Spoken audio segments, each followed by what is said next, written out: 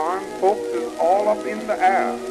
Yes, sir. From what I can hear 'em saying, seems like they're just fighting everywhere. I, I went down to the bulletin board the other night just to see what I could see. And before I knew it, there was uh, several hundred men all surrounding me. Somebody hocked the Kaiser, and I don't know the reason why, but a Frenchman took a swing at me and dug a trench right beneath my eye. A Russian saw my color and he hollered, kill the Turk. Then the Allies all got my range and started in the work. But I'm neutral.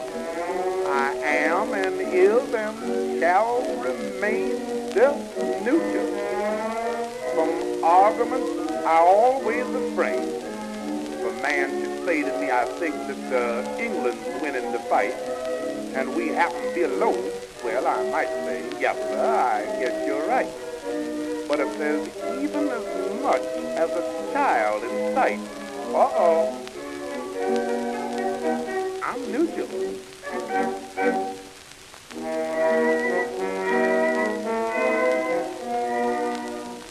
Two friends of mine got married here just about a week or so ago. Oh, they done turtle doves and honeymoon, just like newly married couples do. They called each other jelly rolls. Huh, for just about a week. Now, you'd think that sugar would melt in their mouths. Well, that is, uh, so to speak. I went around and called on them the other night just to show my respect. They got to fussing and used language, well, it was no Bible text. I started in to arbitrate. That was enough. The both of them lit into me, they showed and treated me rough. But I'm neutral. I am and is and shall forevermore remain neutral. I woke up just outside the hospital door. Now, man wife's face he must poke, or he must grab her and shake her and the life out of her choke.